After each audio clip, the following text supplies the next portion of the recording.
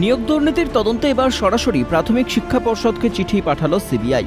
দু হাজার চোদ্দ টেটের ভিত্তিতে দু হাজার ষোলো দু হাজার সতেরো দু হাজার আঠেরো সালে রাজ্য জুড়ে যে সমস্ত প্রাথমিক শিক্ষক শিক্ষিকাদের নিয়োগ করা হয়েছিল, এবার প্রাথমিক শিক্ষা পর্ষদের কাছ থেকে সেই সব তালিকা চেয়ে পাঠালো সিবিআই। সিবিআই এর পাঠানো চিঠিতে বাইশটি জেলার জেলাভিত্তিক তালিকাও চেয়ে পাঠানো হয়েছে পর্ষদের তরফে। চিঠিতে বলা হয়েছে, নিয়োগ হওয়া প্রার্থীদের নাম, রোল নম্বর, তাদের যোগাযোগের নম্বর, ঠিকানা, স্কুলের ঠিকানাও দিতে হবে প্রাথমিক শিক্ষা পর্ষদকে। বিভিন্ন জেলার তরফে কবে, কোন দিন এই নথি সিবিআই দপ্তরে আসতে হবে তার তালিকাও চিঠিতে উল্লেখ করেছে কেন্দ্রীয় তদন্তকারী সংস্থা। এক একটি জেলার জন্য এক একটি তারিখ ধার্য করা হয়েছে। এদিকে এই চিঠি পাওয়ার পরেই তৎপরতা শুরু করেছে পর্ষদ। তালিকা তৈরি করার জন্য বিভিন্ন জেলায় ডিপিএসসিতে চিঠি পাঠিয়েছে পর্ষদ।